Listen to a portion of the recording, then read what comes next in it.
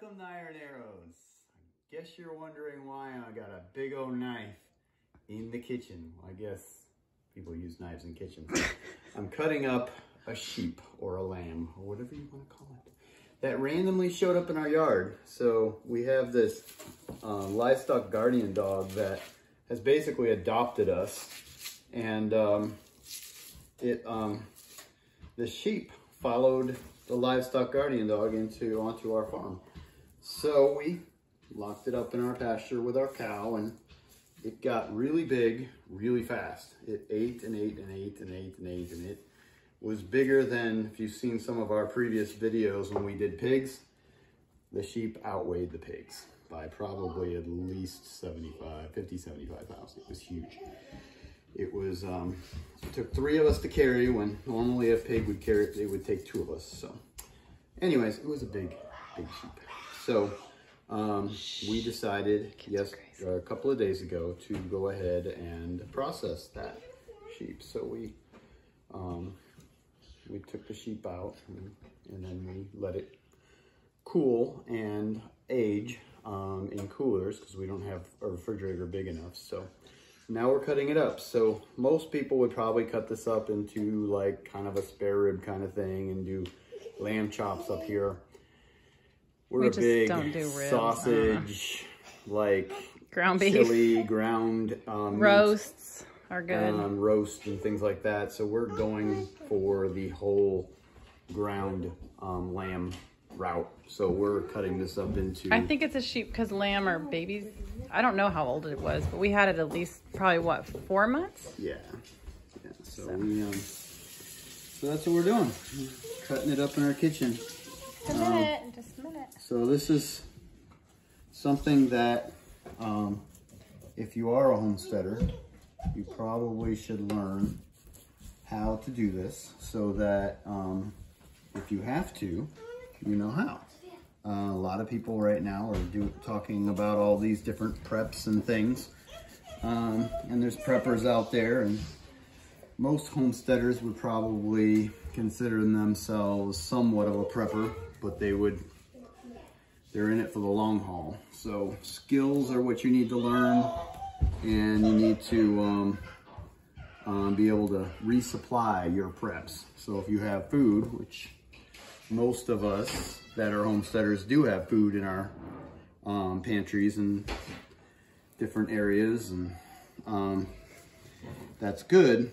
But if you don't have a way to resupply that food, then you're probably not it's it, you need a way to resupply.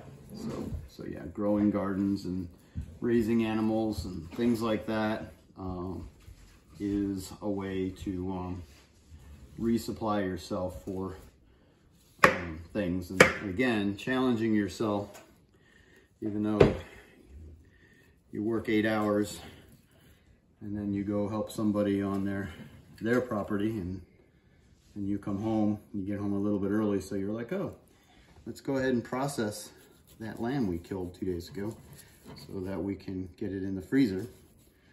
Um, it's good to press yourself. Um, it's good to learn. It's good to do hard things because things could get hard. And if they do get hard and you're not used to it, then you're gonna be in trouble. But if you're used to it doing hard things now, and things that maybe bring you out of your comfort zone, um, then it'll be a little easier when you have to do hard things because nobody's delivering food to you. Um, so just an example is I'm a contractor and I, um, I went today to find some, just a, um, a meter hub so I can build a tent pole for somebody and nobody has any. Couldn't find any meter hubs in the local city where we're near. Um, so I called a friend of mine. He has a few, so he's gonna sell me one of his. But um, he stored them up ahead of time because that's his business. He's an electrician. Um, and he, um, he just looked ahead and said, well, I probably better put some of this stuff in my shop. So, so think about what you need. Think about what you need to learn um, and learn those things. Um, and store up things that you need um, and get ready because you never know what's coming. So Yeah, it could be inflation. it could be inflation. We're already suffering from it. Yeah, it's Um, getting bad. the supply chain is all messed up. You go to the grocery stores and there's empty shelves or there's a whole row stuff. of green beans. You know, it's interesting when Walmart's selling all green beans in an entire row and you know And that was one of our children. that was one of our children. All right, so I'm just gonna come over here. Um, we have organ meat. So there's that. I'm putting it all in a garbage bag just till it freezes and putting this in the freezer. Um, these are like part of the legs. Just sausage meat. Will um, our KitchenAid broke. That's our sausage grinder, but we also have a manual one. On, we just have to find it. So. So we'll we'll do that. It's all processed. it's a weekday, so It is a life is crazy. and we didn't think we were gonna need the manual grinder. It is somewhere in my basement and we haven't unpacked everything since we moved here a year ago. So uh, we just packed, unpacked the things we needed and we have processed animals in between um, that Just year. chunked all the meat. But we we did chunk all the meat, and then if we did need to grind anything, we did have the KitchenAid and the grinder on the KitchenAid. Oh, so, yeah. and now that is not working. So, um, so yeah, stuff happens. You just have to roll with it. So we'll find our our manual grinder. But be prepared. Get a manual grinder if you think, you, or maybe two, if you think you're gonna want to hunt any food or raise animals for meat. Yeah, you can dice it. Um, we may be taking some of this meat and um, doing some pressure canning. Um, we have haven't done that before. Um, we've seen other people do it, but we've, We've never just done it. veggies, but And so we may be taking some of this and pressure canning it. And if we do, maybe if you're good, we'll let you see it. Um, so that's what I tell my kids. If you're good, they're they're always good. I always joke around with them. So so yeah, this is just the way I did it. I did an elk this whole like I was when I was in the military and I was in California. There was a chaplain who got an elk um, tag, and um, then he was gonna be. I helped him and helped him process it, and when we were all done, this is how what I did. I cut all the meat off the off the ribs, and um, then he said, "Well, I'm moving, so you can have all the meat." So I had in our freezer like a whole elk sitting there, and we ground up some of it using the manual grinder. Um, and a lot of it like we had and then and we ended up transferring and we gave all that meat to someone else um, who was blessed to buy it so but um, it's a good skill to have um, there's a good book out there um, I think it's called the Butcher Book um, I don't know where I think that it was out. it was out. Um, it teaches you how to cut up um, meat.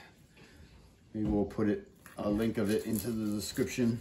But um, yeah, our oldest was using it to read how to tan the hide, right? yeah, but it didn't have that information Oh, in there. So he did bring it back in, but I don't remember. Where So yeah, so it. he's saving the hide. So he has it in salt right now, and he bought some. Talk about that.